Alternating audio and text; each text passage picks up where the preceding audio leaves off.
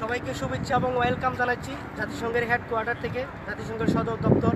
এখানে প্রতি বছর জেনারেল অ্যাসেম্বলির সময় one hundred ninety three member state countries and member এবং উইদাউট মেম্বার ছাড়াও আরও যতগুলো দেশ আছে, প্রায় তিরিশ চল্লিশটা দেশ, প্রায় দুশো পঁয়তাল্লিশটা দেশ আছে স্টেট কান্ট্রি প্লাস আইল্যান্ড বা সবগুলো মিলে প্রতি বছর মিলিয়নস অফ পিপল আমরা এখানে গেদার হই গেট টুগেদার হই।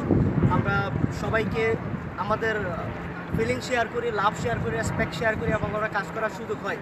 ইয়ত ইয়ত delegates and or ministerial and prime minister president businessman civil society community society and others people যারা man women girls young children প্রতি বছর এখানে আসেন এবং আমিও আসি সেই হিসাবে।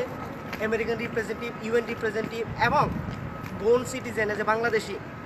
যদি আমি অফিসিয়ালি বাংলাদেশের সিটিজেন না, তারপরেও যদি গভর্নমেন্ট কোনোদিন আমার সুযোগ দেয়, বাংলাদেশের সিটিজেনশিপ এবং কাজ করার সুযোগ দেয় অফকোর্স আমি ইন্টারন্যাশনাল কমিউনিটিতে আমি সরকারের হয়ে আমি রিপ্রেজেন্ট করব। বাংলাদেশ, আমি আস্তে আজকে বাংলাদেশের ট্রেডিশনাল ড্রেস লঙ্গি এবং ফতুয়া পরে এবং স্যান্ডেল সো আমি একমাত্র বাংলাদেশি, এই প্রথম জাতিসংঘের ভিতরে আমি লুঙ্গি এবং ফতুয়া পরে আসছি কনফারেন্স করতে। এই কিছুক্ষণ পরে আমার লাঞ্চ শেষ হবে তো আমি কনফারেন্সে চলে যাব, তখন আমি কনফারেন্সে দিব। So I respect my dress I respect my culture and I respect other culture other language other dress also and please কেউ পোশাক দেখে, কেউ ড্রেস দেখে কেউ জাজমেন্ট করবেন না। কেউ কেউ পোশাক কেউ আইডেন্টিফাই না। এবং তার চলাফেরা, তার কথাবার্তা, তার এডুকেশন তার কাজ দিয়ে মানুষকে জন্ম হোক যতটা কর্ম হোক বলো।